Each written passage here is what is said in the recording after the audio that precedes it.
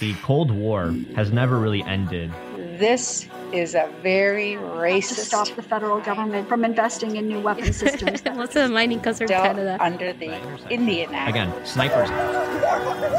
James, James, Justin Jr. James, James. Grocery is done. I have to let them know. Soaked in the blood of Ryan. The, the revolution will not be won with hot takes. Welcome to the Red Review. Hello, everyone, and welcome to the Red Review. This is our next installment in our series of interviews with Municipal Socialist Alliance candidates. My name is Emily Steers. I use she, her pronouns, and I am coming to you from the unceded territories of the Anishinaabe, Haudenosaunee, and neutral peoples known as Guelph, Ontario. Hey, comrades. My name's Daniel. I use he, him pronouns, and I'm coming to you from Tkaronto, the traditional territory of the Haudenosaunee, the Anishinaabe, the Chippewa, the Mississaugas of the Credit, and the Huron-Wendat, all members of Socialist Action, the host of this podcast, live and work on stolen indigenous land from across Turtle Island. So we echo the call for land back and indigenous self-determination. We declare that there can be no reconciliation without restitution, and that includes seizing the assets of the major resource corporations and returning them to the commons. As Emily mentioned, we're continuing a very intensive series of interviews with Municipal Socialist Alliance candidates for the upcoming municipal elections in Ontario. Vote day in Ontario is October 24th. Up until then, we will be interviewing as many people involved in this new United Front. Today, we're really excited to interview Wali Abro. Wali became a Canadian citizen just last winter, having immigrated from Pakistan nearly 10 years ago. He subscribed to the cliched image of Canada that it was fair, compassionate, and built in partnership with the Indigenous peoples. That image was quickly shattered. Now he's fighting for the Canada that he was promised. Wali has long been an advocate for electoral reform, holistic social supports, and decolonization. He is an active community volunteer, keeps close to the grassroots and is a passionate advocate for indigenous rights from Turtle Island to Palestine. He is taking his fight forward by running as part of the Municipal Socialist Alliance team to be councilor for Ward 14, Toronto Danforth on a platform that features immediate housing for people experiencing homelessness or precarious housing, improve public safety by significantly defunding the police and investing in community well-being and rebuilding Toronto's infrastructure with climate change and population growth in mind. Welcome to the podcast, Wali. Thank you. Happy to be here. So that's a fantastic bio, and congratulations on becoming a Canadian citizen. Despite our reservations about the country, that's still a really important milestone. Is there anything you want to tell us about yourself that wasn't included in your admittedly very impressive bio? well, on second hearing, I would like to add that I think Canadians are by and far very conscientious people. Given the chance, I think they will do the right thing. The people of Canada by and large, are compassionate, are fair, and they do take informed decisions. So if we are able to break through the barrier of silence that the upholders of these institutions have put in place to mm-hmm. propagandize Canadians into believing that the Canadian state is all good all the time and is actually reflective of the Canadian mosaic, quote unquote, I think we'd be able to make a lot of progress if we're able to break through that that barrier. Yeah. So I have a lot of hope in the people of Canada. It's just uh, it's just the structures that we have in place that are rotten to the core. They're not serving us. They're not serving the people. Wali, I want to kind of get started. You were someone that joined the MSA this past summer. And if I recall correctly, you showed up to one of the weekly picnics mm-hmm. and just kind of introduced yourself. and then before long, you were signing up to join a campaign of radical candidates that, like you just mentioned, we're focusing on the systems. We're not about shaming individuals. We don't think it's a series of personal bad decisions that people have made that got us into this mess but rather a system that's holding us all hostage so that a few people can make a bunch of money off the rest of us. So you, you signed up for a, a very radical campaign. What led you to to making that decision this past summer? What led you to taking that next step of joining such a radical grassroots alliance? Well, every time I think about the social movements that we have and any sort of social justice campaign, it's always about writing petitions, calling your MP, sending out emails, or even going out to protest, which is great. The problem being, I've become painfully aware with the coverage of Palestine and the Palestinian protests in Canada that there is a deliberate or almost deliberate attempt to silence the grassroots, to silence people's grievances. What they seem to be doing is just waiting out the clock, hoping we get tired. And it's essentially a war of attrition. So I keep thinking about ways to how we could be more effective. And every time I go back looking at successful revolutions or social justice movements, it's always, almost always seems to come down to direct action. The biggest impediment to that direct action is, of course, the police. Because we can come around and try to do an occupation or a sit in protest that's peaceful, in its essence, it's peaceful, but it goes against bylaw 608 or it goes against, you know, disturbing the peace, etc., etc., etc. So then the police will come down hard on you. Since the police is in the hands of the city, I decided that, you know what, maybe by getting into city council, I can somehow effect a lowering of the barriers or the defenses of this oppressive system by making people realize that the police is actually an institution that upholds the status quo. So if you ever want change and if you ever want to do a direct action sit in, camping out of Queen's Park, you're going to need to get the police off your back. Mm-hmm. That's the overarching big thing.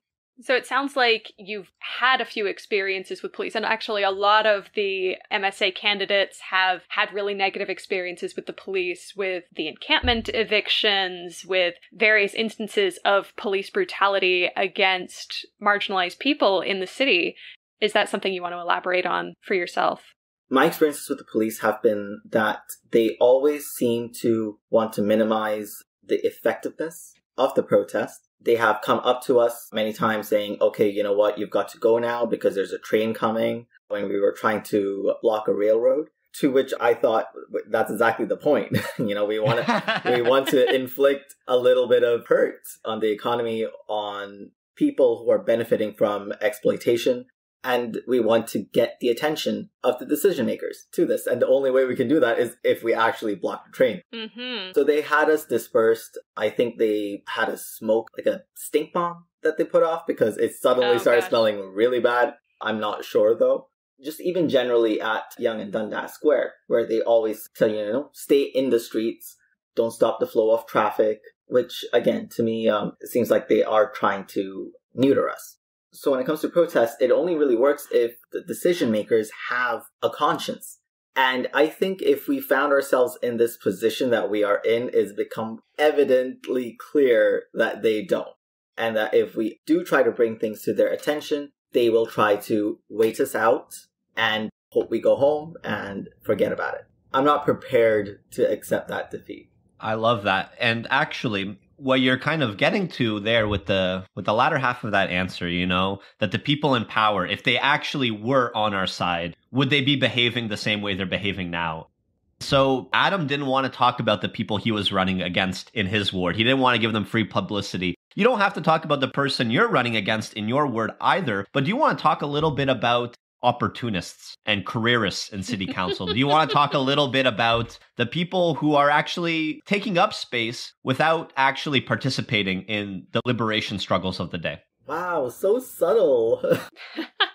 Love it, Danny. I've been described as many things subtle, maybe not so much. Not one of them. I am, uh, yes, I'm running against an incumbent of nearly 20 years. Wow. Actually, if you count her time as an executive assistant to Dan Leckie in the 90s, she's been there for upwards of 25 years mm-hmm. and three years as school board trustee. Yeah, I am uh, running against someone who is deeply entrenched in the system and I feel over time has become accustomed to the relationships she's built with the people who have benefited most from the status quo. That's what happens. Mm-hmm. She's also been quite comfortable over these past 20 or so years, which makes me, just makes me suspicious of her understanding of poverty and of the struggles that people are experiencing today because an entire generation's been raised since the time she's gotten into office up until today. Those people who were born in the 90s are now taking up real jobs, graduating, getting out into the real world, and realizing that this is a very, very hostile place. And I don't think she has a full appreciation for that. The incumbent, I will say, her name is Paula Fletcher. She was initially a leader of the Communist Party of Manitoba, didn't do too well electorally there, but she did eventually you know, just move to Toronto and start her political career here. And when asked what her political ideology is or what her values are, she seems to say, Oh, you know, I subscribe to progressive values. That's on our Wikipedia page anyway, that all powerful source. And it didn't seem like she was very convinced in it or convinced in progressive values or ideals. Instead, it seems as though she's just another liberal who co opts the language of progressive politics, of left wingers, mm-hmm and does what is politically expedient or easy for her to do. And I think one of the biggest problems that stem social change is a lack of democracy. Everything I think about seems to distill down to this one thing. In Canada, we have first past the post, which is an inherently, I don't want to say corrupt, but it's uh, inherently stupid. It does not make sense when 32% of voters can decide to give a majority government that then has 100% of the power to do whatever it wants. The fact that Doug Ford received 17.8% of the vote of eligible voters in Ontario and ended up with 67% of the seats, a super majority, is not democratic. He has no mandate. He has no legitimacy. Even the election itself is of questionable legitimacy given that less than 50% of voters participated. We are getting this lack of trust in institutions build up. I think it is leading us towards a very dystopian reality, especially when the politicians who benefit from it say, oh no, this is democracy and, you know, we have a mandate and this was completely legitimate. Yeah. Which it's just not. So I feel at least, at the very, very least, if we were to have ranked ballots so people don't have to worry about wasting their vote on a candidate or a party that actually shares their vision, they can put that party at the top of the list and not have to vote strategically just because they don't want the conservatives or the liberals to win. Yeah, strategic voting has been one of the big arguments I've heard against supporting, let's say, the Municipal Socialist Alliance. It's every four years for an election, and you're going to use your vote on some sort of ideological choice, but there might be a competitive race between a right winger and a centrist. Someone from a harm reduction model might say you owe your vote to the centrist to avoid the worst possible outcome. And what it means is an alliance like ours has such a hard time getting off the ground and when you consider the institution that maintains first past the post voting, well, you can see how they benefit from that system that silences voices like ours. Absolutely. And even though I, am a bigger believer in, let's say, mixed member proportional, I would say that if we had ranked ballots, we would be able to take that first step forward. Because I do remember in, I believe, 2007, that Ontario had a referendum on mixed member proportional. And it failed because people, by and large, did not understand. I mean, it took me a very long time to understand, and I consider myself to be someone who is politically savvy. So if we were to have, at the very least, ranked ballots, because that's simple and super easy, and much better than first past the post. If we were to have that, then perhaps we can start to have the discussion about mixed member proportional. But at least something that I think all of us can agree on is that first past the post is just not cutting it and it needs to go. That's what it always boils down to. And the person I'm running against, the incumbent, she voted against ranked ballots, which was infuriating to say the least, especially considering that she is someone who says she's progressive, she's working class, she's, you know, for the people. Then you wouldn't do something like this vote against ranked ballots. And then she voted in favor of one motion, which was a motion to ask the city clerk to present a report on the feasibility of conducting ranked ballot implementation across the city. It wasn't even a vote on ranked ballots. It was a vote on the feasibility of conducting a report on how ranked ballots could potentially affect Torontonians. It's just so many steps removed that it's not even really a vote for ranked ballots. So she voted in favor of that and says, oh, look, I'm in favor of ranked ballots. When that's, again, not necessarily true. When she was actually asked on ranked ballots, she said no. When she was asked about, are you in favor of maybe looking at it in 2023, she said yes. Yeah, the 2023 one. That's a very interesting thing that you bring up because she also tried to get a motion passed where it said council should instruct the city clerk to present a report on how ranked ballots would affect people who speak English as a second language and to submit that report in 2023. She made this motion, I believe, in 2019, if I'm not mistaken. Oh my god. That means she deliberately wanted that report to come out in 2023, a year after a municipal election, probably to be able to say in 2022 if there was a motion on ranked ballots to say, hey, wait, no, there's this report that we need to wait for that's coming out in 2023. And I think we should wait for that report because it'll affect people who speak English as a second language. So let's just defer this motion for now, just so she could have the 2022 election be first past the post yet again in a way that benefits her. Yikes. I couldn't help but think of the analogy of a Trojan horse when I saw that. I'm, I'm quite furious. And rightly so. I think you make a good point that with the lower voter turnouts we're seeing and a lot of disenfranchisement, and we're seeing a lot of people kind of pulling away to the left, but also pulling away to the right, and kind of there's this evasion of the center that's starting to form as people are becoming more disillusioned with the way things are you're right. There is a lack of trust and a deserved lack of trust, but you also point out it's a dangerous lack of trust because when we lose faith in these institutions, then things become a bit. Things get a little spicy. yeah, that's a societal collapse and, you know, things like that. Not, not the vibe. So, mm.